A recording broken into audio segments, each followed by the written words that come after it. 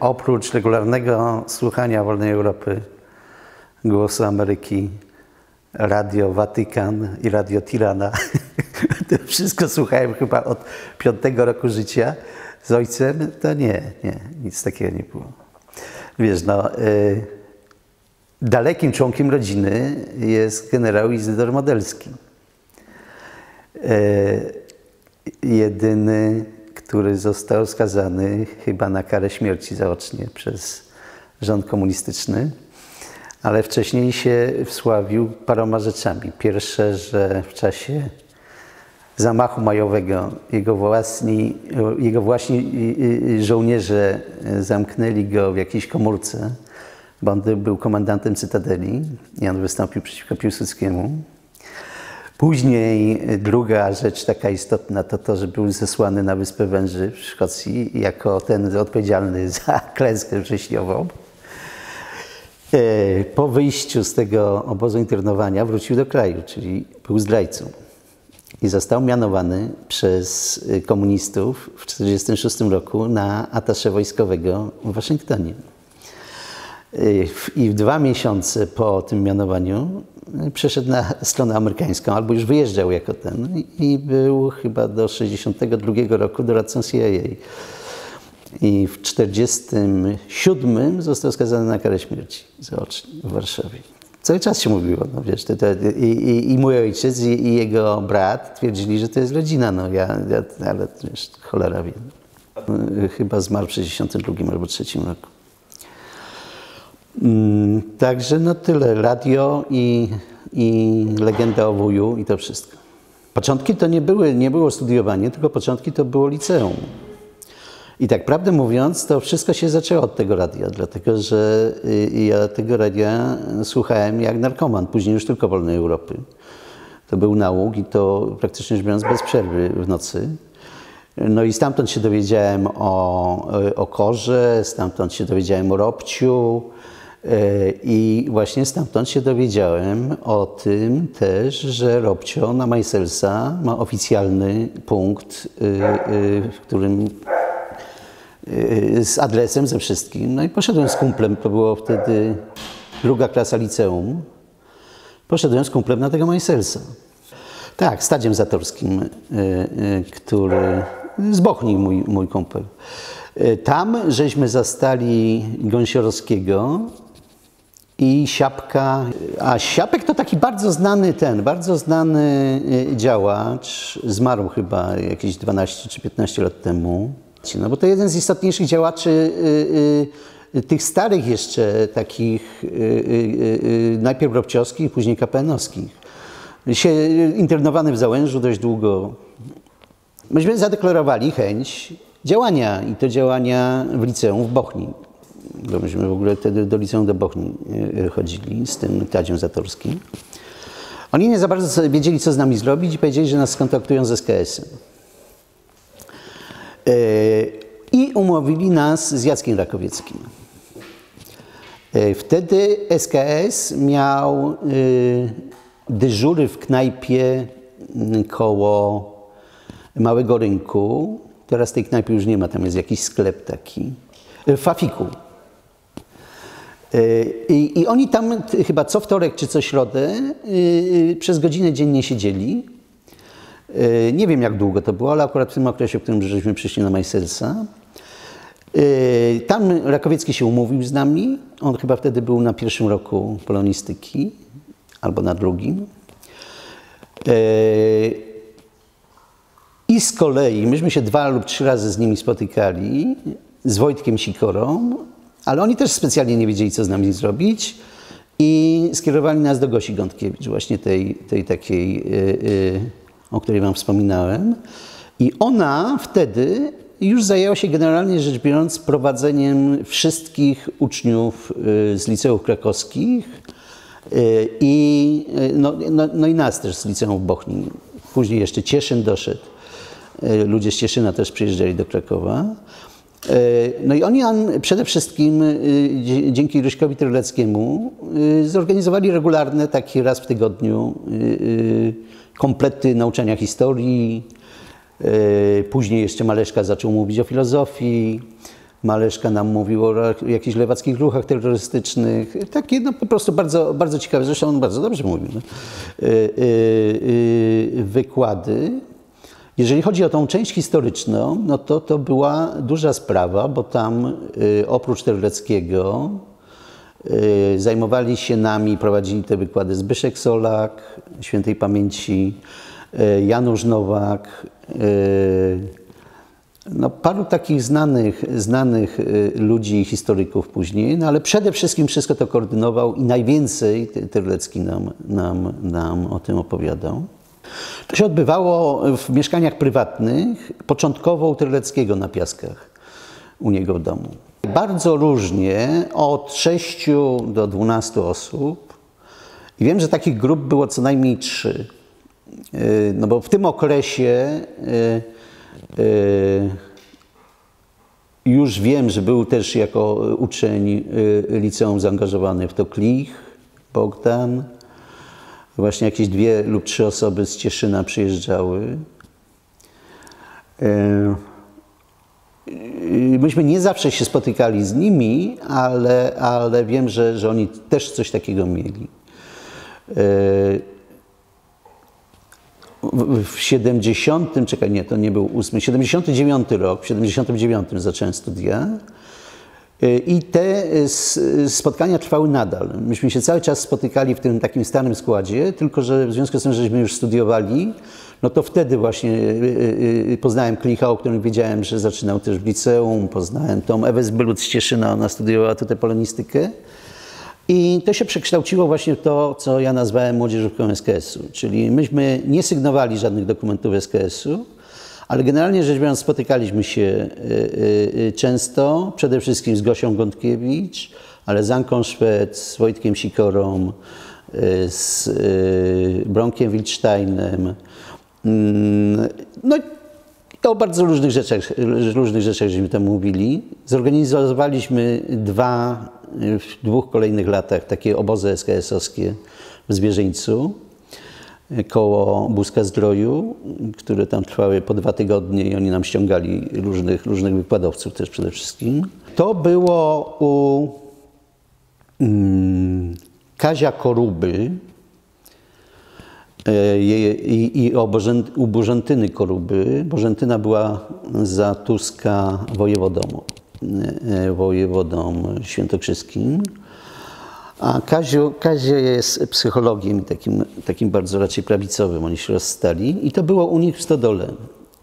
Oni mieli działkę, myśmy spali na sianie, tam gotowaliśmy sobie, bo była taka prymitywna kuchnia, no i tam żeśmy, pierwszy, pierwszy raz to było 10 dni, drugi raz 14 dni.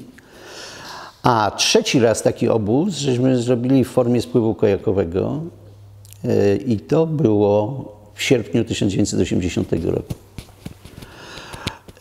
I spływaliśmy Krutynią. I już na studiach, no to na studiach myśmy oficjalnie w miarę występowali jako powiązani z tym SKS-em. Myśmy na przykład uczestniczyli, myśmy, ja mówię o, tych, o tej grupie młodzieżowej, w zbieraniu podpisów pod wnioskiem Ciesielczyka o rozwiązanie ZSP, bo wtedy SKS się włączył w to i, i myśmy po akademikach chodzili, zbierali te podpisy. Niczego żeśmy nie sygnowali, ale na przykład rozprowadzaliśmy bibułę na, na, dużą, na dużą skalę. Z takich anegdotycznych rzeczy, no to jestem jedną z niewielu osób, którą się interesowało KGB moskiewskie, bo u mnie w czasie rewizji jednej znaleźli 20 plakatów protestujących przeciwko Olimpiadzie w Moskwie. A to był chyba 70, nie wiem kiedy była olimpiada, 78? No, no to to było w 80. W 80 oni, oni wtedy weszli mi, znaczy do, do, do, mieszkania, gdzie ja mieszkałem, mieszkanie ojca naściegiennego.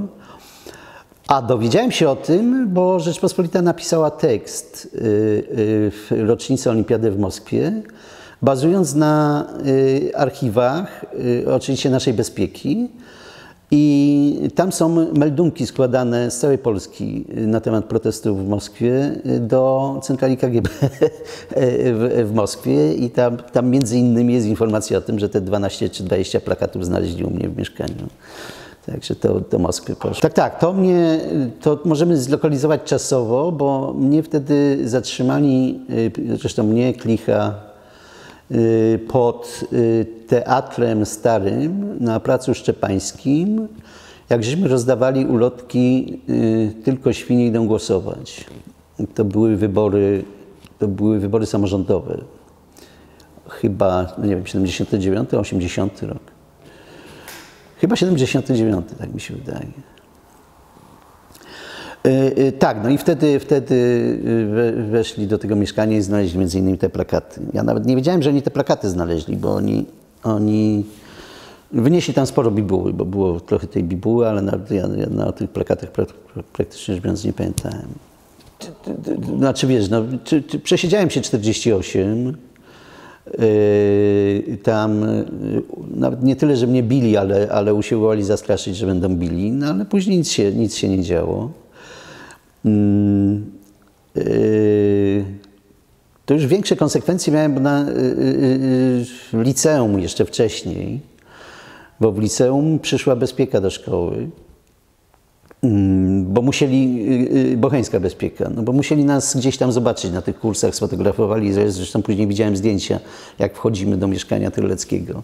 Także to, to, te, te grupki były pod obserwacją. Y, I przyszli do dyrektora, wezwali nas, no i w obecności dyrektora nas liceum przesłuchiwali, mnie i tego Tadzia Zatorskiego. I przeprowadzili tak zwaną rozmowę ostrzegawczą. Dyrektor był komuchem strasznym, ale zachował się w tym kontekście zachował się bardzo, bardzo porządnie, no bo tylko, tylko nas straszył, no, że, że będę musiał was wyrzucić i tak dalej, ale żadnych, żadnych konsekwencji nie było. A już jak byłem studentem, to nie, no bo to, to, to raczej się przychylne mi się wydaje na tych ludzi patrzyło. No, no i cały czas myśmy byli w kontakcie y, y, z tym SKS-em. W, sierpniu 80 roku większość ludzi w Krakowie albo była w Gdańsku, stoczni, albo zostali zatrzymani z tych oficjalnych SKS-owców. Albo gdzieś wyjechali poza Kraków. Natomiast myśmy y, właśnie z Gosią Kątkiewicz usiłowali nawiązać y, y, różne kontakty. Wtedy na przykład Majdzik zorganizował strajk wspierający, wspierający stocznie. No ja, ja byłem takim yy, kontaktem z Majdzikiem. No ja tam poszedłem do tego Elbudu i niejako ja go kontaktowałem z tymi członkami SKS-u, którzy, którzy jeszcze funkcjonowali. Po podpisaniu porozumień natychmiast zaczęły się rozmowy w takich, w gruncie rzeczy w trzech grupach. Pierwsza grupa to ten stary SKS, czyli sygnatariusze SKS-u. Y, bezpośrednio związani z nimi ci młodzi, czyli y, ludzie, którzy byli na tym, z tej młodzieżówki takiej SKS-u, którzy byli na, tam na pierwszym, drugim roku, zdecydowanie młodsi pokoleniowo od nich. Tacy, którzy raczej do tej pory się nie, y, nie podpisywali niczego, z nazwiskami nie funkcjonowali. No i trzecia grupa to była ta grupa Ciesielczyka, no bo Ciesielczyk był dysydentem już z tego, z tego SZSP, on tam usiłował, żądał rozwiązania, kojarzyć. Marek Ciesielczyk. E, obecny zresztą chyba radny e, w Tarnowie. Wtedy to nie było SZSP, tylko to było SZSP, Socjalistyczny Związek Studentów Polskich. I on żądał rozwiązania SZSP e, i przemianowania go na organizację związkową studentów, taką, jaką no, on się na to powoływał, ja nie wiem jak to, tam była prawda, raczej tak nigdy nie było, był y, Związek Studentów Polskich, czyli bez określenia ideowego żadnego. No i w sposób naturalny, no, SKS mu pomagał, tak jak mówiłem, myśmy zbierali te podpisy pod wnioskiem o rozwiązanie SZSP oficjalnie. No i on był takim środowiskiem, on tam, on, go, jego narzeczona Gosia Bator, no i jakieś tam 6-7 osób, która się w to zaangażowała, było tym takim trzecim środowiskiem. które zaczęło mówić o powstaniu NZS-u. Pomysł był taki, żeby nie identyfikować NZS-u z SKS-em, tym starym, tylko żeby właśnie y, y, na, na, na, czoło poszli ci młodzi, że to nowa organizacja studencka, że ten, no oczywiście oni nas tam bardzo, bardzo mocno wspierali, myśmy byli w stałym kontakcie y, cały czas, przede wszystkim wtedy, w tym okresie z Anką Krajewską, z Bronkiem Wilcztajnem, z Anią Szwed, z Dorotą Martini, która sygnowała SKS na ASP. No i to było przede wszystkim y, y, Wojtek Sikora, tu mówiłem. Przede wszystkim y, ja byłem związany z tym kręgiem ludzi, którzy ten NZS robili na ASP, dlatego że mój kuzyn, ja mieszkałem u kuzyna, no i on, on studiował na ASP na formach przemysłowych. No i pierwszym takim, aha, no też wszyscy ci, którzy byli zaangażowani w tą taką grupę inicjatywną NZS-u, Zaczęli też pracować w takim y, punkcie informacyjnym, y, y, to wtedy nie nazywało się Solidarności, to był, na tej ulicy od rynku szła, w lokalu znaku, tak, nasiennej, tak. Taki punkt informacyjny dla nowo organizujących się związków, no bo wtedy jeszcze nie było wiadomo, czy to będzie Solidarność, tam pracownicy naukowi chcieli mieć osobny związek y, y, y, i tak dalej. No i myśmy oczywiście startując stamtąd postanowili stworzyć to niezależne zrzeszenie studentów. Chyba 12 osób podpisało taką deklarację ideową. E, to chyba był 17 września ta deklaracja ideowa. No jest gdzieś w papierach na pewno, także to, to, to można, można sprawdzić. I nie pamiętam kiedy, ale wydaje mi się, że to był koniec września albo początek października, y, żeśmy zwołali zebranie w Kolegium Brostianu. Y, y, powołujące wtedy, nie pamiętam czy to już oficjalna nazwa funkcjonowała czy nie, ale zebranie organizacyjne organizacji niezależnej organizacji studenckiej i, I, pamiętam dokładnie, jak żeśmy tam z Sikorą stali przed bramą do Kolegium Prostianum i nie mieli pojęcia, czy ktokolwiek przyjdzie. Już zbliża się termin, a tam praktycznie rzecz biorąc nikogo, nikogo nie ma, oprócz dwóch samochodów bezpieki, która, która tam stała i siedzieli w samochodach. I byliśmy przekonani, że nas zwiną, no bo jak nikt nie przyjdzie. I nagle tak, tak, tak runęło po prostu i praktycznie rzecz biorąc cały ten dziedziniec Kolegium Prostianum był zajęty ludźmi. Y, tam żeśmy tę deklarację przeczytali, no i zaczął się, zaczął się NZS. No. Y, y, zaczęliśmy negocjować z rektorem, dał nam lokal na świętego Shakespeare, na Gołębie, tak, na świętego Gołębia, na Gołębiej, praktycznie rzecz biorąc nad, nad Shakespeare'em. E, no i, no i zaczęła się działalność NZS-u. No, później był ten pierwszy, pierwszy zjazd, później były strajki. E, ja, ja to wspomniałem nieco inaczej, dlatego że najważniejsze było to, żeby na każdej uczelni powstała grupa inicjatywna. Myśmy zaczynali praktycznie rzecz biorąc od Uniwersytetu i ASP. Także ten pierwszy okres to były przede wszystkim kontakty z Akademią Medyczną, dlatego że tam był KLICH, czyli z tej, tej naszej młodzieżówki. E, następnie była PWST. E, niezależnie niejako, i to myśmy inicjowali, natomiast niezależnie od nas, natychmiast ludzie się zaczęli organizować na AGH. E, I myśmy musieli nawiązać kontakt z nimi. Jakoś żeśmy to starali się cały czas koordynować. Też istotna była sprawa połapania tych wszystkich kontaktów ogólnopolskich, żeby w jakiś sposób stworzyć tę siatkę. Także Wiesz, no gadulstwo pewnie było na jakimś tam etapie, ale mnóstwo, mnóstwo takiej pracy organizacyjnej właśnie, tworzenia kontaktów, siatek, yy, ludzi. Wiesz, tam yy, na przykład była taka sytuacja, że rektor yy, WSP w Rzeszowie zakazał y, stworzenie NZS-u, no to myśmy jeździli tam do tego Rzeszowa, wiesz, no tacy te, te gówniarze, a ja pamiętam, ja rozmawiałem z tym rektorem z, z, z pozycji siły, ja mówię, Uniwersytet Jagielloński zastrajkuje. Co pan myśli, że Rzeszów to nie jest część Polski? Wiesz, tego typu rzeczy.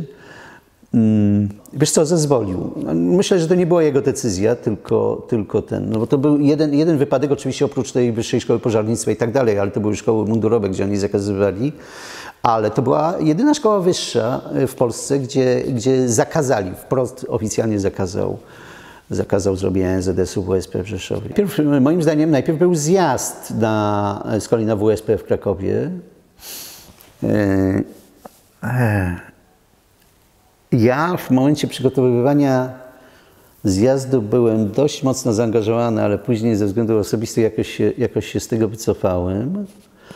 No i później taki istotna, no pamiętam jeszcze ten, jeszcze y, też to anegdotyczne rzeczy. Ze zjazdu to pamiętam kłótnię taką, bo myśmy koniecznie chcieli y, y, zrobić coś w rodzaju odezwy do, y, y, tak jak Solidarność zrobiła tą odezwę do robotników y, Europy Wschodniej, to myśmy chcieli coś podobnego zrobić y, do studentów Europy Wschodniej.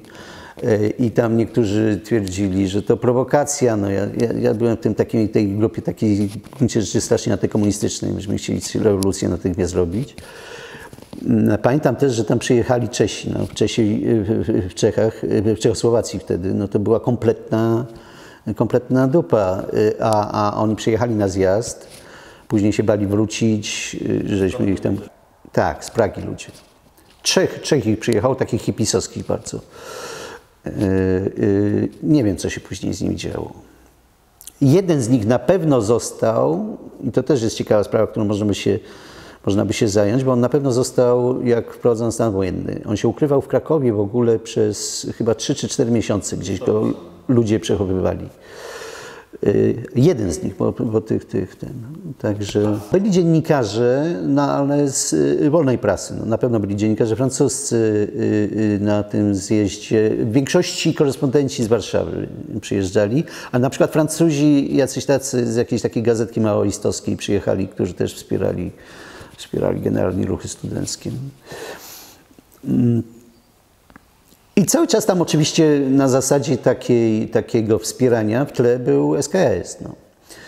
Wtedy też w tych pierwszych dniach NZS-u na przykład Bronek Wilstein wtedy był y, anarchistycznym lewakiem. I Bronek Wilstein sprowadził y, tak, taki najbardziej słynny awangardowy teatr studencki Living Theatre, który też w Broscianum na dziedzińcu Broscianum tam parę tysięcy osób pełzało za nimi, no bo oni tak jakoś pełzali dziwnie. Elementem tego było to, że oni czołgali się, no myśmy się czołgali, ja pamiętam, byłem brudny, wiesz, pamiętam dokładnie ten brąka czołgającego się jako element lewackiego spektaklu. No. Pamiętam też zaangażowanie, istotne zaangażowanie Maleszki. Ja pamiętam, nawet prowadziłem takie jedno z pierwszych spotkań właśnie w Broscianą, gdzie tam było, myślę, że, że był taki moment, że było około tysiąca osób nawet. Później, żeśmy siedzieli na różne komisje. E, e, I ja prowadziłem przez pierwsze chyba dwa dni komisję statutową i pamiętam takie moje, wyskoczyłem na ławkę i mówię, że jak mamy między, między nami takich ludzi jak Maleszka, to będzie tylko dobrze. I ten, tam się objawił też w śmieszny sposób Rokita. Bo Rokita przyszedł z grupką swoich przyjaciół, którzy w żaden sposób nie byli rozpoznawalni wtedy. I on przyszedł z Krzyśkiem Krzysztofiakiem z fizyki. I ja też pamiętam, też prowadziłem spotkanie i mówię do Krzysztofiaka, no masz tutaj krzesło dla tatusia i pokazuję, pokazuję Rokitę, żeby siadł. Także ten. No i wiesz, strajki. No co jeszcze? Na strajku, wiesz, no ja, ja miałem, być, miałem być rzecznikiem prasowym strajku, ale dwa dni przed strajkiem złamałem szczękę. No, znaczy nie złamałem, tylko złamano mi szczękę. No. I, ten. I, no to może włączyć kamerę. Słuchaj, piliśmy. Nie wiem, czy kojarzycie Łukasza Świeża. I żeśmy wyzwali się na pojedynek polegający na tym, że najpierw jeden uderza, a później drugi uderza. I Śwież miał brodę, ja nie miałem brody. E, także uderzyłem świeża, wylądowało na brodzie, a mnie uderzył i złamał mi szczękę, także miałem zlutowaną szczękę przez w ogóle długi okres czasu, 4 miesiące. Miałem druty i tak mówiłem cały czas. Także w okresie strajku byłem na strajku, ale, ale byłem, że tak powiem, kaleką. No. Słuchaj, no ja, wydaje mi się, no mogę coś mylić, ale wydaje mi się, że ten pierwszy strajk y, y, to była reakcja na odmowę rejestracji NZS-u ogólnopolskiego. To był jeden motyw. A drugi, tylko nie wiem, czy mi się nie myli już z drugim strajkiem, to była pacyfikacja Wyższej Szkoły Pożarnictwa. Nie? No co ja tam pamiętam? No, mnóstwo ludzi. No, to był, wiesz, też nie wiadomo jak to, było, jak to się skończy, no, ale to był ogromny sukces, ten, ten pierwszy strajk. Drugi, ja nie pamiętam. Tak, tak. Tam bardzo, bardzo istotną postacią był Oleg Galos, który został wybrany szefem, szefem yy, wydziałowego NZS-u. Tak, nie, nie było, nie było tak, że prawo w jakiś sposób odstawało negatywnie od, od yy, innych kierunków. Trochę mniej ludzi było na naukach politycznych, no ale to być może dlatego, że, że, że oni mieli poglądy takie, a nie inne. Bardzo śmieszne jest też anegdotyczne, bo to, to w gruncie rzeczy anegdoty się pamięta, że y, Zygmunt Berdychowski był wtedy po drugiej stronie, bo Zygmunt był istotnym działaczem Socjalistycznego Związku Studentów Polskich wtedy. E, I on był tym działaczem do stanu wojennego, kiedy nie został zatrzymany w Tarnowie i, i, I wiesz, on wtedy rzeczywiście zachowywał się bardzo bohatersko, bo on dwa razy został skazany pierwsze trzy lata, drugi raz został skazany, zatrzymany, odwiesili mu ten wyrok trzyletni, plus dołożyli mu dwa lata. Także mimo tego, że był z, ze sypu, to, to zaangażował się bardzo mocno jako student. On był, właśnie był na prawie też. W podziemie, tak. No, znaczy on był w ogóle chyba szefem SZSP na prawie. Ale jak wybuchł stan wojenny, to u siebie tam w okolicach Nowego Sącza i w Tarnowie, bo w Tarnowie został y, y, aresztowany, y, jako jeden z pierwszych w ogóle studentów dostał długi wyrok, bo trzy lata dostał. Trzy lata i później drugi raz dostał dwa lata. No drugi pamiętam o tyle, że, że ewidentnie ale na pierwszym też rosło napięcie w pewnym momencie. Ciągle były, ciągle były ploty, że będą pacyfikować, y, y, y, że Bydgoszcz chyba była w czasie pierwszego strajku, nie? że po Bydgoszczy myśmy byli gotowi na to, że, że wejdą, że to, był taki sygnał, że jak w Bydgoszczy się takie rzeczy z Solidarnością dzieją, no to, to będą się działy tutaj też. W czasie drugiego strajku kilka razy zatrzymali ludzi plakatujących od nas. Także ta, ta, taka atmosferka y, y, ca, cały czas była. No. Pojechałem na ten WSN. E, e, wolność, sprawiedliwość, niepodległość, tak mi się wydaje. Albo niezawisłość, nie, może nie niepodległość, bo to była ta taka lewacka grupa, także niepodległość może im źle brzmiała. E, e, pierwszy kongres założycielski WSN-u w Warszawie. E, ja tam pojechałem. 11 już no a 13 y, był, był stan wojenny. Także ja wróciłem już z Warszawy w stanie wojennym. Uczestnicy tego, tego kongresu założycielskiego, w sumie chyba z sześć, z sześć osób, tak jak wspominałem, łącznie z Maleszką, no, nocowali w cudzysłowie, a raczej imprezowali u tego Kosakowskiego, u niego w mieszkaniu, bo on tam y, zaofiarował się, że nas przenocuje. Y, I o 12 w nocy żeśmy w telewizji oglądali. Bo o 12 w nocy była pierwsza, y, moim zdaniem była pierwsza ta emisja. O 6 nad ranem? Mi się wydaje, że o 12. Ale wiesz co, no myśmy pili, może to była szósta, nie dwunasta, no, no, no ale wiesz, dowiedzieliśmy się z, z telewizji, yy, yy, wcześniej do tego Kosakowskiego ktoś dzwonił, ale myśmy lekceważyli te telefony, że coś się dzieje, bo w Gdańsku się coś działo. Yy, bo w Gdańsku chyba też był zjazd Solidarności wtedy, nie?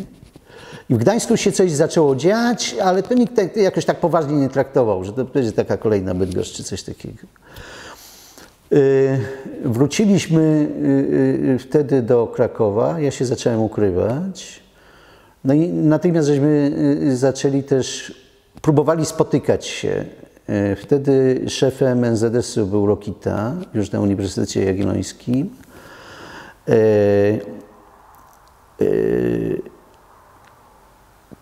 Pierwszy raz spotkałem się z nim stosunkowo szybko u Bernardynów, bo myśmy wcześniej ustalili y, sobie, że jeżeli coś się będzie działo, to chyba nawet w, w, w czasie pierwszego jeszcze strajku, y, y, oni tam mieli jakichś Bernardynów znajomych, tam pod Wawelem w klasztorze i że tam będziemy się szukać nawzajem. No to ja go tam szukałem jakoś, już nawet nie pamiętam jak, no ale udało mi się z nim spotkać. Też jakoś udało mi się złapać kontakt z Markiem Lasotą i żeśmy. Y, ja się z Rokitą wspólnie ukrywałem w dwóch albo trzech mieszkaniach. No i żeśmy powołali SKODę, Studencki Komitet Obrony Demokracji. I Lasota został szefem tego.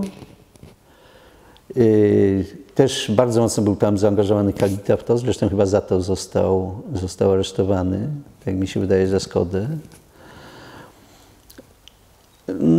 No i, no i wiesz, no, mnie zatrzy... ty- yy, yy, Myśmy no, cały czas się ukrywali i coś tam robili. Przede wszystkim chyba coś usiłowaliśmy drukować. Mieliśmy drukarnię na, w takim wieżowcu na końcu mm, Kazimierza Wielkiego. Tam też taka anegdotyczna rzecz była bardzo ciekawa, że y, tam zwinęli, zwinęli Sienkiewicza, Bartka, mm, bo on tam, on tam był w momencie, w którym y, nie wiadomo jak, jak, jak bezpieka tam trafiła, ale trafiła. I on im nie otworzył drzwi. Oni usiłowali wywalić drzwi, a on wyszedł na balkon i z, to było na, chyba na, no, no, ten najwyższy taki budynek tam na końcu. I z balkonu zaczął wyrzucać ulotki i krzyczeć, tam nazywam się Sienkiewicz, tam będę, będę aresztowany, no i te ulotki się tak rozwalały po całym tym, po, po całym osiedlu. Nawet nie wiem, jakie to były ulotki. Nie pamiętam. Yy, Gdzieś chyba mm, koło 12 stycznia yy, zrobili kocioł w mieszkaniu yy, mojej narzeczonej Ewy Brol na. I to zrobili tak, że ja czekałem na nią i y, jej córkę, wtedy miała dwa lata, Agnieszkę, chodziłem z nią y, y, na plantach, spacerowałem, tak, a ona się kłóciła z mamą w domu. I w pewnym momencie zobaczyłem, jak trzy samochody podjechały i po prostu ich widziałem, y, że wchodzą. A tam zaraz miał przyjść Rokita też. Także z kolei pobiegłem pod filharmonię, bo wiedziałem, że będzie stamtąd szedł. I usiłowałem go przyjąć pod filharmonią i udało mi się go przyjąć. I, i także, że y, wtedy nie został zatrzymany, został zatrzymany, to było, było 12, on został zatrzymany 17. Ja zostałem zatrzymany 4 dni później. Y, Jak później z papierów wynika, to y, z donosu Michała Ronikiera. Bo ja w mieszkaniu u Kasi Zimmerer, a to, to, to był jej ojczym, y, żeśmy zorganizowali takie spotkanie, bo w tym okresie ja się już ukrywałem po tym, i, po tym jak ten kocioł był, y, y, moja narzeczona też się zaczęła ukrywać, Ewa Brol. No ale ona miała tą córkę, córką się opiekowała matka. No i myśmy się umówili u Kasi Zimmerer, y, i jak się okazało, tam był wtedy Michał Ronikier, y, żeby zobaczyć się z tą Agnieszką. Jak ja wyszedłem z tego, z, z mieszkania, y, to tam, gdzie teraz jest budynek radia, na tym, na tym y, takim skwerku, zobaczyłem już, już ten, wyczułem, że bo jeden szedł z przodu, a drugi szedł z tyłu za mną. I y, zacząłem biec przez ten, przez ten placyk. A, a, zaczęli krzyczeć stój, bo strzelam. Ja stanąłem. I stanąłem jak głupi, nie wiem, być może bym im uciekł wtedy jeszcze, wiesz, no bo to nie wiem, jak, jakby to wyglądało. No, no i wtedy mnie zwinęli, przewieźli na Mogilską. Na Mogilskiej siedziałem stosunkowo krótko, chyba dwa albo trzy dni. Usiłowali mnie przesłuchiwać. Zacząłem tam wrzeszczeć i w gruncie rzeczy przesłuchiwali mnie tylko, tylko raz. Yy, I późnym wieczorem, nie pamiętam którego dnia, wsadzają mnie do suki takiej transportowej, a tam siedzi Rokita. Skuli mnie z Rokitą, no i zawieźli nas do Załęża. To był jeden ze szczęśliwszych momentów w moim życiu, bo ja się bałem, że, że oni będą, yy, że będą przespływali, że będą mnie bili i tak dalej. Także jak już się dowiedziałem, że, że jedziemy i było wiadomo, żeśmy wyjechali z Krakowa, bo było wiadomo, że ten ruch ucichł i tak dalej, bo żeśmy nie widzieli, ale ten, to jeden z najszczęśliwszych momentów w moim życiu. Jedziemy jakieś 20 minut jazdy w kierunku tam Bochni, zawracają. I jadę z powrotem, jadę z powrotem na Mogilską. Mało się nie zlałem ze strachu, ale jakichś dokumentów zapomnieli. Także musieli się wrócić i no, nas zawieźli do tego, do Załęża. A w Załężu, ja byłem sobie nieprzestraszony, Rogita podejrzewam też, a w Załężu małpiarnia kompletna. Wiesz, y, oczywiście wprowadzili nas, to cele były zamknięte, ale huget z jakiejś celi wrzeszczy, kto tam, kogo kurwa znowu przywieźli, no to my wrzeszczymy nazwiska, o, modela przywieźli ten łysy Rokita też, widzisz, mał, małpiarnia, wszyscy zaczęli krzyczeć z tych cel, także kompletnie jakaś taka enklawa, no. No i tyle. Słuchaj, no były, było, były bardzo różne okresy, bo ten pierwszy okres Załęża y, był bardzo nieprzyjemny, bo to jeszcze usiłowali, przyjeżdżali z Krakowa i usiłowali nas przesłuchiwać. Cele były zamknięte. To był też ten okres, kiedy wyłowili tak zwanych śpiewaków i ich przenieśli z, z tego bloku, gdzie myśmy siedzieli, czyli internowani, do, postawili im zarzuty Śpiewacy to był Klich, Krzysztofiak, e, Piekarski, e, pięć osób, których sobie wybrali losowo, bo myśmy zawsze co wieczór śpiewali. Jakieś tam Zieloną Bronę, jakieś tak pieśni patriotyczne i tak dalej. A ich sobie wybrali e, z dwóch cel i przedstawili im zarzuty i z tego, z tego bloku, gdzie byli tylko internowani, znaczy kryminaliści też, no bo myśmy siedzieli razem, razem z tak zwanymi internowanymi kryminalistami, przenieśli ich do, do y, normalnego zakładu karnego, gdzie tam mieli jakieś bardzo nieprzyjemne przejścia. I myśmy ogłosili głodówkę wtedy, y, żądając, żeby ich wrócili. To była, y, przynajmniej w moim wypadku, rzeczywiście prawdziwa głodówka, bo później jeszcze były dwie głodówki, no ale to takie były trochę oszukiwane. A to była prawdziwa głodówka, myśmy głodowali niektórzy 7, a drudzy 8 dni tylko z wodą, bez żadnych tam soków, bez witamin, bez niczego. To było nieprzyjemne, bo to wiesz, jest zimno straszliwie, człowiek i ból głowy. Y, I y, no to, to nie było takie przyjemne, ale pamiętam, że taką cezurą czasową to była Wielkanoc. Bo na Wielkanoc zostaliśmy zarzuceni paczkami kompletnie. Otworzyli nam cele, Także mogliśmy, y, zamykali cele tylko na noc, także mogliśmy się poruszać po tym korytarzu i po świetlicy. Przyszło mnóstwo paczek i to takich, wiesz, których w komunie się nie widziało, bo z Izraela jakieś pomarańcze, czekolady i tak dalej. Także stosunkowo szybko zaczął się handel z strażnikami. Po prostu oni przynosili budę, a myśmy im dawali za to pomarańcze czy, czy jakieś tam czekolady. I ten drugi okres y, taki, y, y, tej, tej, takiej liberalizacji tam w środku nie był, nie był jakiś specjalnie dotkliwy. No bo wiesz, jak cały dzień pozbawiony byłeś wolności, ale, ale cały dzień spędzałeś z kumplami, tam też jakieś usiłowaliśmy organizować te też jakieś kursy samokształceniowe, tam Jasiu Polkowski, Boguś Sanik, e,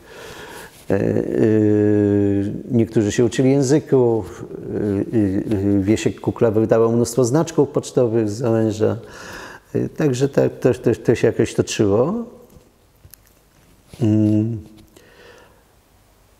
I, no i później nieprzyjemny był tylko transport, bo transporty są niesłychanie nieprzyjemne, bo to psy i tak dalej. Bo y, większość y, y, studentów zwolnili, zostawili tylko Hugyta, mnie i Miodowicza i nas przenieśli do Piasków koło Kielc.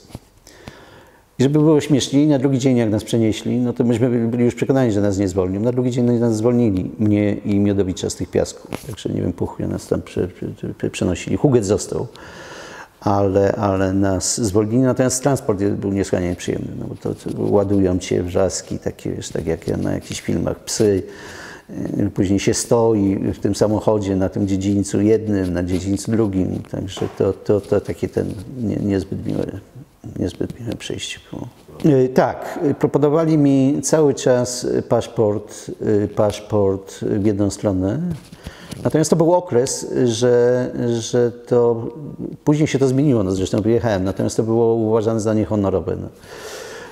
I wtedy odmawiałem, a później sam wnioskowałem o paszport. No, także także ten, to, się, to się zmieniło, ale to było parę lat no, w 85. Natomiast tak, y, y, pierwsza rozmowa, ja wnioskowałem też o zwolnienie, bo mój dziadek zmarł y, i wnioskowałem o zwolnienie na pogrzeb i rozmawiali nie ze mną, tylko z moim ojcem, bo on też wnioskował, żeby mnie zwolnili na pogrzeb i ten, i ojciec przyjechał i mówi, że cię zwolnią, ale muszę im dawać słowo honoru, że nie będziesz próbował uciekać. Ja mówię, słuchaj, no, pierwsza rzecz, którą będę próbował, to będę próbował uciekać. Dla mnie w ogóle było niepojęte na przykład, że ludzie się zgłaszali na odbywanie kary. No. Wiesz, dla mnie było oczywiste, że należy uciekać. No i, i, no i ojciec nie da słowa honoru i mnie nie puści. E, dwa razy przyjeżdżali. E, e, i to ci prowadzący mnie, czy Troglodyta i Olczak. No ale też było, y, wiesz, ja nie wiem jak to się działo, przecież nikt tego nie postanawiał, ale było oczywiste, że się z nimi nie rozmawia. Troglodyta, y, ja nie wiem, nie znam jego nazwiska, bo Olczak, Olczak mi pokazywał wielokrotnie legitymację. Y, no to byli goście, którzy mnie zatrzymali po raz pierwszy i później jak i później, jak mnie e, zwinęli w czasie tego stanu wojennego, to oni też usiłowali mnie prze, prze, przesłuchiwać. A później z kolei, to, no i oni cały czas się w gruncie rzeczy y, mną zajmowali, no bo ja byłem później już y, po internowaniu, to praktycznie rzecz biorąc każdego 11 zatrzymywany tam na kilkanaście godzin. I do tej trójki dołączył Maxulis. To z kolei taki skurwysyn, taka weszka, Grek e, e, z pochodzenia i, i taki niesłychanie nieprzyjemny, weszkowaty ubek. Nie, rozwalanie ścian już było po przeniesieniu chyba nas do Kielc i to chyba było piętro wyżej, wiesz? Tak mi się wydaje. E, no ja pamiętam, ale to też już po moim wyjściu, te niesłychanie długie głodówki Majdzika. Majdzik tam wszystkie. Ja, ja, nie wiem, na ile on rzeczywiście w cudzysłowie uczciwie głodował, ale wydaje mi się, że tak, no bo on stracił dużo masy mięśniowej i tak dalej. On, on rzeczywiście głodował kilkadziesiąt dni. Tylko chyba przy, przy wodzie i przy tym, przy witaminach też. Yy, ja pamiętam tylko jedną tak zwaną matandę. Yy, I też nie mam, nikt nie wiedział, dlaczego akurat to zrobili. Bo myśmy mieli już otwarte korytarze, mogliśmy korzystać i z korytarzy, i ze świetlicy. I w pewnym momencie oni w ciągu dnia zażądali, żeby wszyscy poszli do cel. I myśmy odmówili tego pójścia do cel, no i wtedy wpadli ci, ci kosmici tacy i zaczęli tłuc. No, no to żeśmy szybko uciekli do tych cel. No. Dzień zwolnienia pamiętam dokładnie, po prostu myśmy się tam zaczęli, za przeproszeniem, rozgaszczać y, w tych Kielcach, bo to kompletnie inne więzienie. I to było, tam jedną noc przespałem i drugiej nocy wołają.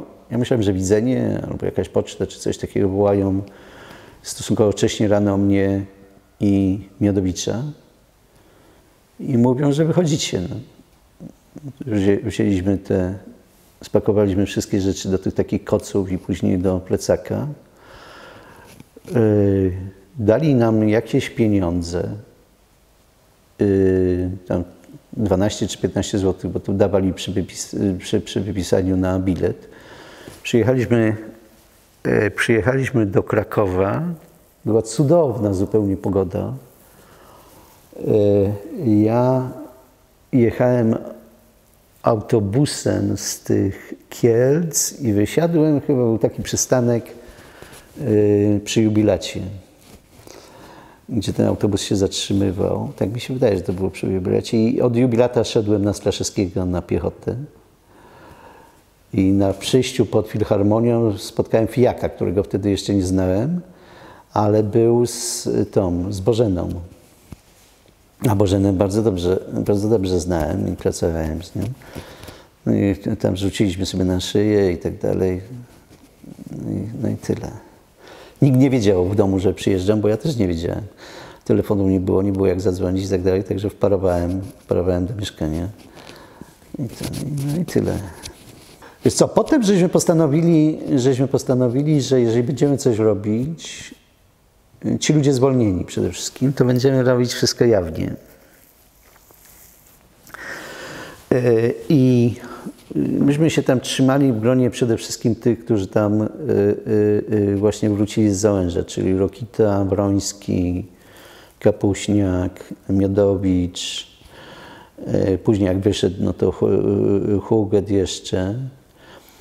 I ciągle żeśmy coś tam, coś tam knuli. Nie pamiętam chronologicznie, no ale, ale był Komitet Obrony Więzionych za przekonania, bo wtedy chyba nie,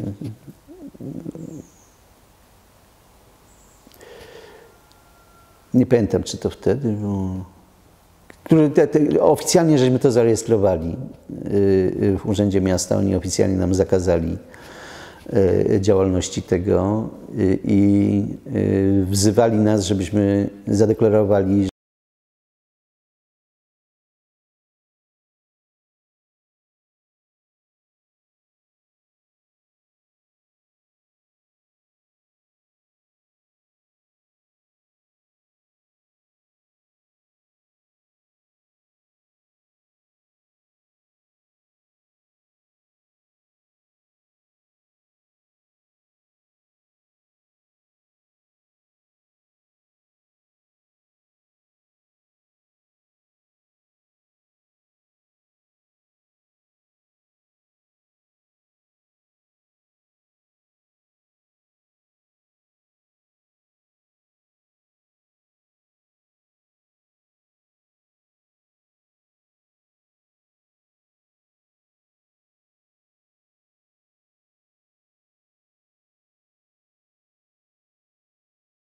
takiego zwiniętych różnych naklejek, takich, których się gdzieś tam w, w, naklejało w tych w tramwajach czy gdzieś. Stosunkowo dużo żeśmy rozmawiali z różnymi ludźmi, którzy przyjeżdżali z zachodu. Ze Szwecji przede wszystkim. Dziennikarzem, który praktycznie rzecz biorąc zamieszkał tutaj, był ten Anteż Bodegard, tłumacz tej Szymborskiej. Ja go wtedy poznałem i on bardzo dużo pisał o Polsce. Zresztą perfekcie nauczył polskiego, bo on kompletnie nic nie mówił po polsku. No i później to był ten Komitet Obrony Więzionych za przekonania. Było coś też takiego jak inicjatywa przeciw przemocy, albo wiesz, to mi się pomylił, bo Komitet Obrony Więzionych za przekonania nie, to był za NZS-u. To był ten taki marsz duszy, widzisz, tak. Yy, yy, bo wtedy siedzieli KPN-owcy. Byli jedynymi, którzy siedzieli, chyba pięciu KPN-owców, Bzdyl, Moczulski i tak dalej. I wtedy powstał Komitet Obrony Więzionych za przekonania. I wtedy pamiętam też rozmowy z Macharskim, bo myśmy jako ten Komitet Obrony Więzionych za przekonania yy, yy, ogłosili ten marsz, taki protestacyjny, który zresztą był duży. Tak, tam on szedł chyba y, Lubiczem pod ten. A y, Macharski nas wezwał, czy też poprosił o wizytę i, i prosił, żeby tego nie robić. Bo to będzie prowokacja, że czasy są bardzo niepewne, że ten, no ale myśmy, myśmy się postawili. I to wtedy z Miodowiczem przede wszystkim, ja to, to, to ja sygnowałem z Miodowiczem. A to, co mi się pomyliło, co było później, to była inicjatywa przeciw przemocy. I to było związane, moim zdaniem, to było chyba bezpośrednio po Popiełuszce.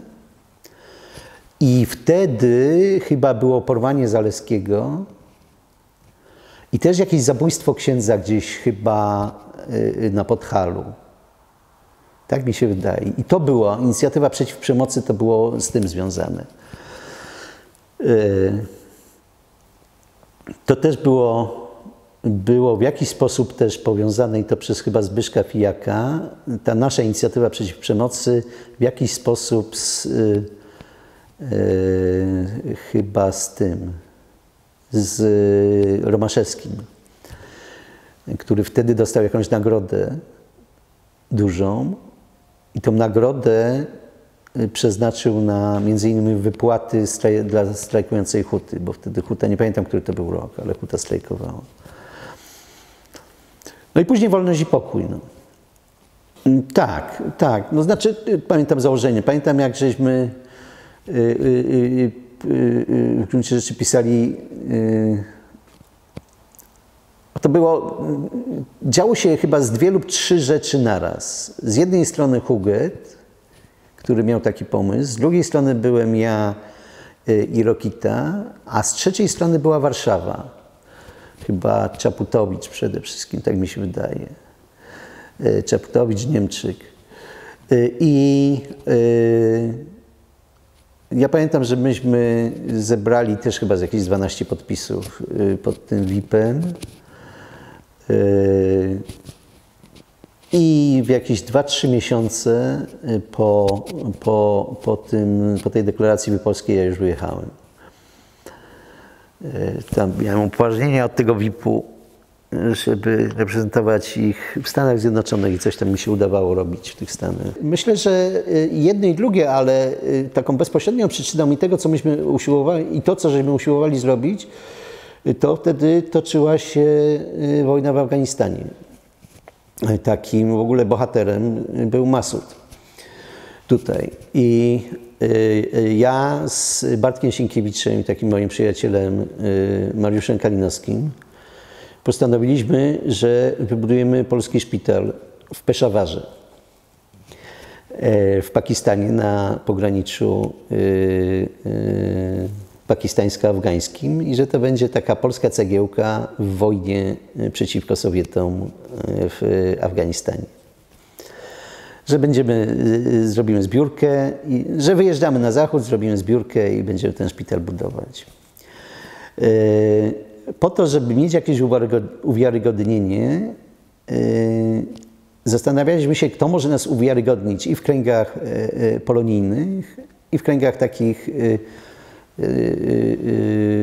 no, ludzi, którzy mogliby nam pomóc. I poszliśmy do Stefana Kisielewskiego na Szucha, on tam wtedy mieszkał. I oczywiście wiedzieliśmy, że będzie podsłuch i żeśmy mu wszystko napisali na kartkach.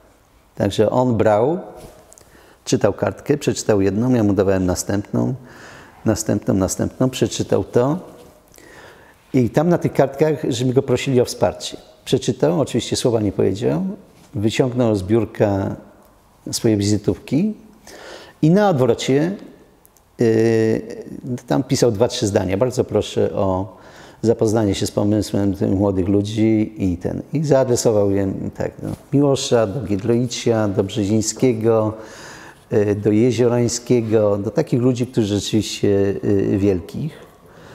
Y, do chyba Smolara.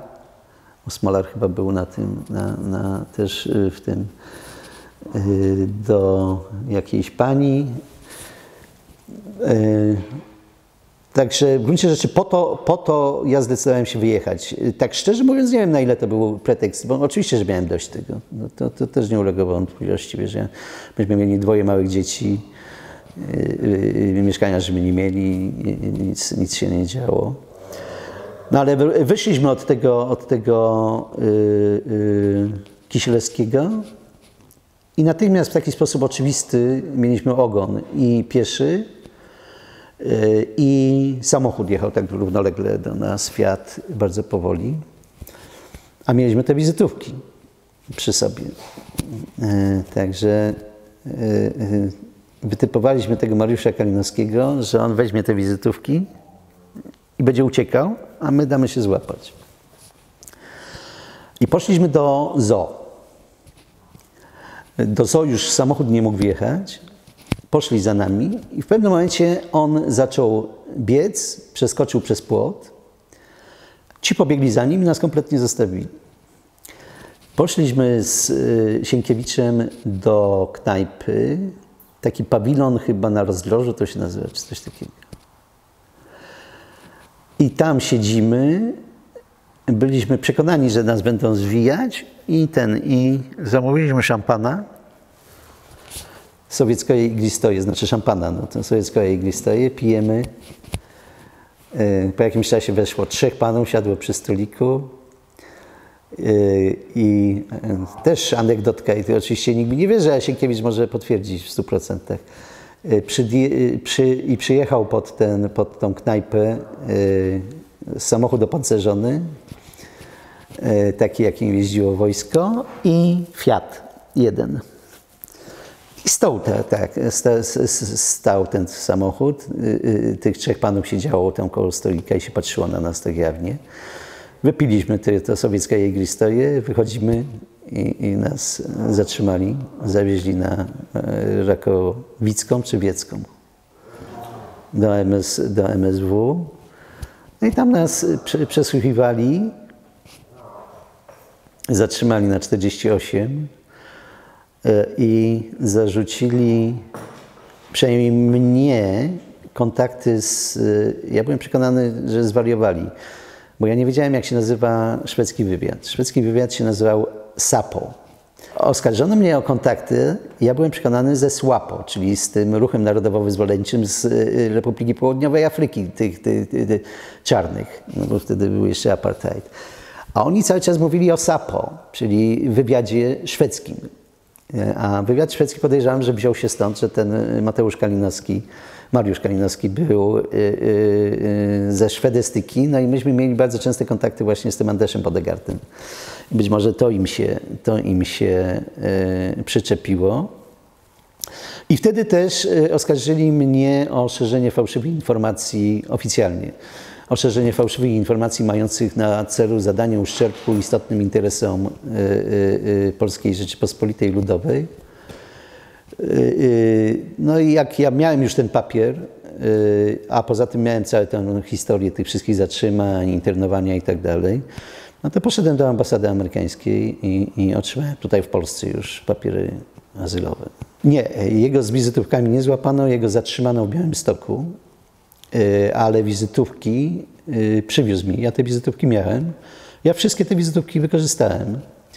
I oczywiście szpitala się nie udało zrobić, ale y, połowicznie się coś udało, dlatego że ja dzięki temu wszystkiemu, dzięki temu pomysłowi w Idaho, gdzie wylądowałem, zorganizowałem coś, co się nazywało Project Wounded. I ten Project Wounded pomógł 74 rannym Y, y, Afgańczykom, to polegało na tym, że y, Armia Stanów Zjednoczonych, znaczy siły powietrzne Stanów Zjednoczonych, transportowały ich właśnie z Pakistanu do Stanów Zjednoczonych i tam już wolontariusze w ramach tego projektu Wounded, którego ja byłem inicjatorem w ogóle w skali Stanów, Y, y, ludzie organizowali szpitale, które na zasadach y, dobroczynności godziły się ich przyjąć. Lekarze dawali swój czas, żeby, żeby ich leczyć. No i w samym Idaho, ja nie wiem jak w, w, w, skali, w skali całych Stanów Zjednoczonych, ale w samym Idaho ja byłem odpowiedzialny za 74 osoby, które tam przyjechały i zostały wyleczone z różnych sytuacji. No, na przykład jeden taki Mohamed Arsala, taki dość istotny komendant, y, y, y, stracił oko. Przyjechał taki zmasakrowany i tam to oko mu musieli wyjąć, protezę mu dawali. Stracił też nogę. No, przyjechał w bardzo ciężkim stanie. Przylecieli go, to, to go wynosili na noszach. A po tych trzech miesiącach, jak, jak miał tam wracać, bo oni wracali, oni nie zostawali w Stanach, to, to normalnie z protezą chodził. Też anegdotyczna, śmieszna sytuacja była taka, że on wpadł w depresję po prostu, bo to młody, taki wiesz, typowy, typowy mujahedin, taki ten i nagle nogę odjęli i oko mu wzięli. A wśród tych Polaków, którzy byli w Idaho, był mistrz olimpijski z Wiednia w biegu i w skoku wzwyż bez nogi, czyli tej olimpiady takiej dla niepełnosprawnych. I myśmy już trochę zdemoralizowali tego Mahomeda Arsale, bo zaczął pić alkohol. I w pewnym momencie pijemy alkohol z tym Polakiem i ten się tak zaczął strasznie rozczulać nad sobą. I wtedy ten Jasiu, to Jasiu miał na imię, podciągnął nogę, pokazał mu, że ma protezę i mówił mu, patrz co ja teraz zrobię. I wyskoczył z takiego wysokiego partneru przez okno. Żeby mu pokazać, że wszystko się da robić z protezą. No wiesz, no śmiali się później już, no. A on wrócił, wrócił, bo on jeszcze, wiesz, wysyłał mi z Pakistanu listy, także byłem jakiś czas... W tej chwili nie mam pojęcia, co się z nim dzieje. Być może jest po drugiej stronie. No nie wiem, nie mam pojęcia. Ten, no, Także ten projekt Bundet, y, y, oczywiście szpital się nie udało zbudować, no ale się, się y, bardzo ładnie to, to złożyło. Zresztą wiesz, tam, tam miałem podziękowania kongresu za to i tak dalej, także to, to, to się połowicznie, ale, ale udało. Później co się zaczęło dziać w Polsce, no i ja zacząłem organizować z Jimem Dentonem i jego National Forum Foundation najpierw takie internshipy, czyli praktyki młodych Polaków w Kongresie Amerykańskim. To już zaczęli powoli wypuszczać ludzi. Nie, Reagana nie spotkałem, ale spotkałem kogoś lepszego, bo Mojżesza. Bo współpracowałem z Mojżeszem, czyli z Charltonem Hestonem. Ten taki słynny aktor, jeden z niewielu prawicowych aktorów oprócz Eastwooda, który już nie żyje, a który grał Mojżesza. On bardzo wspierał tę naszą inicjatywę, on był taką, taką twarzą twarzą tego. Wiesz, no i, i taką pierwszym, pierwszym wyjazdem moim do Polski to były Mistrzejowice. Tutaj też ściągnąłem parę ludzi. Tak, tak, ja miałem, miałem amerykańskie papiery. Znaczy ja papierów amerykańskich do tej pory nie mam. Ja nie jestem obywatelem Stanów Zjednoczonych. Miałem tak zwany Refugee Travel Document. I przyjechałem po raz pierwszy do Mistrzejowic, a później z kolei taka duża impreza, którą organizowałem, to chyba 12 wtedy było senatorów i członków Izby Reprezentantów, którzy przyjechali na wybory jako obserwatorzy. Drugi raz wtedy z, nią, z nimi przyjechałem. A jeszcze wcześniej, tak, bo to jeszcze było przed wyborami, na Uniwersytecie Jagiellońskim żeśmy robili taką dużą, dużą konferencję gdzie przyjechała taka wierchuszka neokonserwatystów amerykańskich. Myśmy to robili wtedy, że było śmiesznie z tym, z Arką, z Legutką, z Tyrleckim. I, no, I to już oficjalnie był na, na uniwersytecie, to było już rozplakatowane. A jeszcze z kolei wcześniej, zanim mogłem przyjeżdżać do Polski, no to reprezentowałem VIP i VIP reprezentowałem, nawiązaliśmy kontakty, pojechałem do Nikaragui. Przepraszam. W Nikaragui była bardzo śmieszna sytuacja, bo była nieco podobna do sytuacji w Polsce. Dlatego, że był odpowiednik Tygodnika Powszechnego, czyli La Prensa. Jedyna bardzo prześladowana, oficjalnie ukazująca się gazeta opozycyjna. Były mowy o wyborach. Była cała rodzina Chamorro z panią Chamorro, która startowała w wyborach. Był odpowiednik księdza Popiełuszki.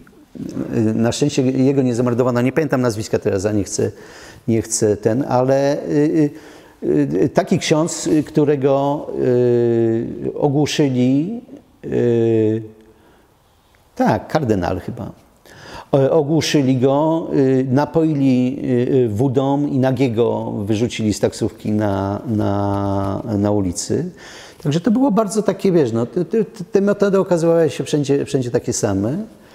I tam y, właśnie miały być te wybory i przed wyborami ja tam pojechałem z dziennikarzami amerykańskimi i oczywiście poszedłem do La Prensy i nawiązałem takie jakby y, miasta braterskie, tylko nie miasta, a Tygodnik Powszechny La Prensa.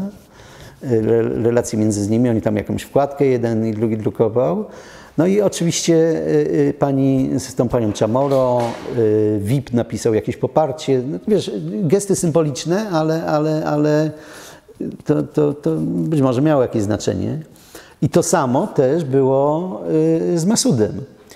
Bo VIP oficjalnie wystosował taki adres do y, Masuda i za moim pośrednictwem to zostało rzeczywiście Masudowi dostarczone. Czyli Polska Organizacja Pacyfistyczna wspierała y, bohaterskiego afgańskiego y, y, y, bojownika o wolność. No. Wiesz co, jego chyba nawet wysadzono w powietrze. Wysadzono go w powietrze przy pomocy telefonu. Tak. Y, Wiesz co, nie, 85, 89 nie byłem w Polsce. Mistrzewice 8, tak? No to 3 lata, tak. To 3 lata mnie nie było. Tak, tak, nie, no ja, ja, wiesz, ja jestem ogromnym fanem Ameryki i nie pozw... Wiesz, ja byłem w bardzo dziwnej Ameryce, bo ja byłem w Idaho. Idaho, taki zdecydowanie prawicowy stan.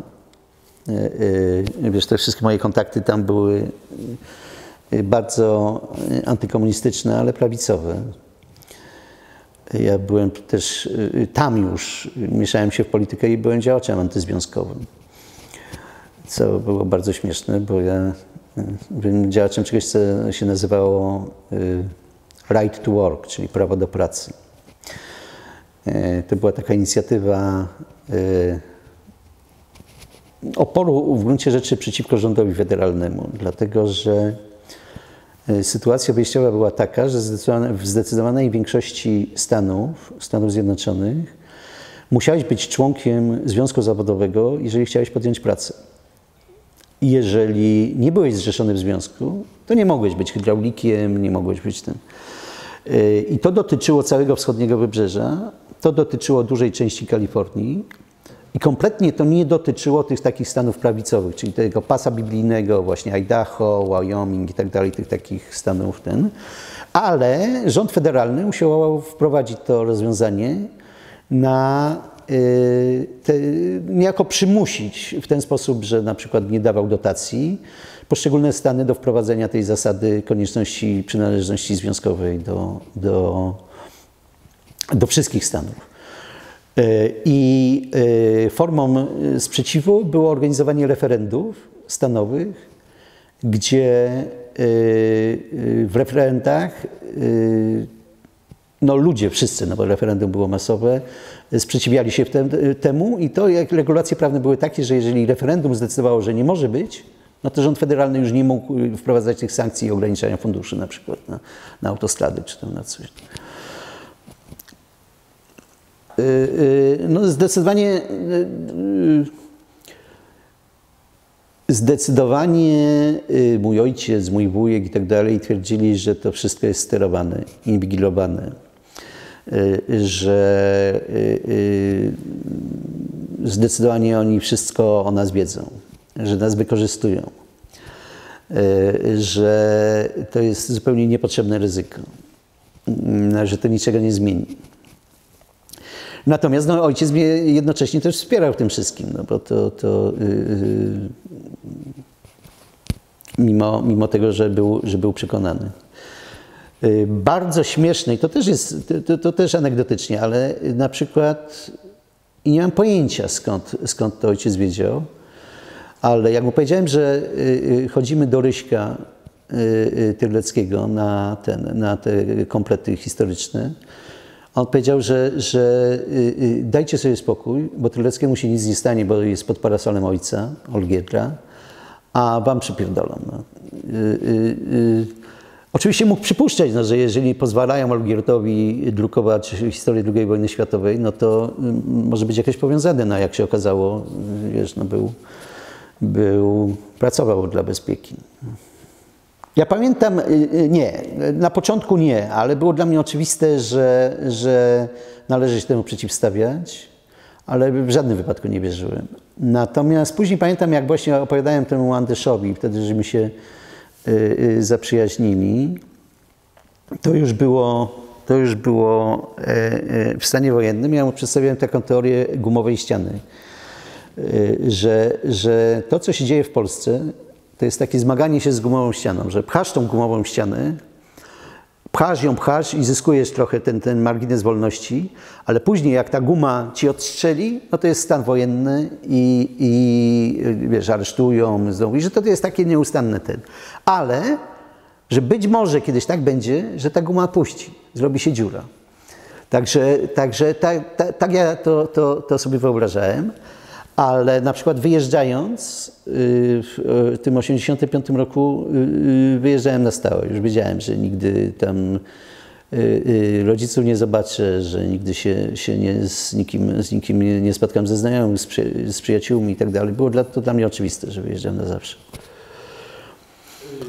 No ja w gruncie rzeczy skończyłem przed wyjazdem no prawie skończyłem trzeci rok, bo tam jeszcze dwóch, dwóch egzaminów mi brakowało. Yy, w Stanach w ogóle nie podjąłem. Nie podjąłem prób żadnych. W Stanach mogłem to zrobić, tylko to już nie. Zupełnie nie. Ja uważam, że to jest, wiesz, okres y, kompletnie taki formatywny, kształtujący mnie. Y, kompletnie nie żałuję. Oczywiście być może mnóstwo rzeczy bym, bym tam y, y, zrobił inaczej, no, ale nie, nie, nie, zupełnie, zupełnie nie żałuję, nie żałuję niczego i, i y, powtórzyłbym to.